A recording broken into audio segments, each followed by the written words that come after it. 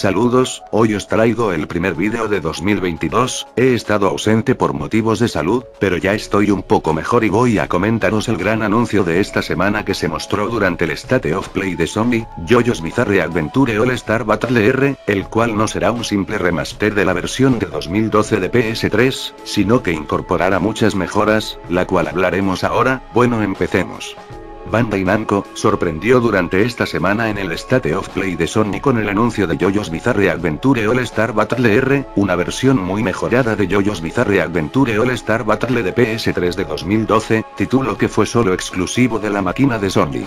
Y ahora nos llegará una versión muy ampliada con más contenidos y mejoras en los combates, para mí ha sido el bombazo del evento de Sony, ya que soñaba con ver una versión mejorada en los sistemas modernos, y Bandai Namco ha cumplido mi sueño y el de muchos con este anuncio, veamos las mejoras de JoJo's Bizarre Adventure All Star Battle R. El juego tendrá en total 50 personajes, ya que la versión de PS3 con todos los DLC en total fueron 41 personajes, pero la duda que tengo es, si estará el personaje Ikuro así Zawa de el manga Bao, ya que fue un personaje invitado y llegó como DLC en JoJo's Bizarre Adventure All Star Battle de PS3 de 2012, viendo comentarios de la gente pude ver un comentario que me llamó la atención, si Ikuro Ashizawa no están en la versión de JoJo's Bizarre Adventure All Star Battle R, sería en total 10 personajes nuevo, pero todavía no se sabe si estará en el juego o no, puede que se quede fuera por motivos de licencias.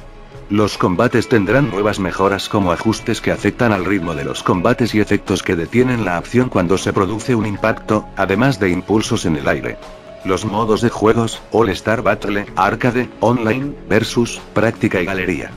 El modo principal, All Star Battle, ofrece combates entre personajes del juego original, pero también hay otros creados específicamente para All Star Battle R. De hecho, puedes disputar más de 100 enfrentamientos con distintos ajustes y reglas, conseguir aspectos cosméticos para los luchadores y desbloquear ilustraciones en la galería. JoJo's Bizarre Adventure All Star Battle R, tendrá más escenarios nuevos, y contará con la participación de los actores originales del anime, el título llegará en otoño de este año para todos los sistemas.